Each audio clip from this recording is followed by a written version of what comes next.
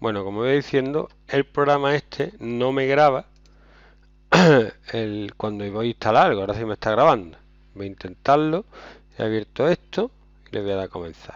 Y nada, y me falla. Lo que estaba intentando explicar, ¿vale?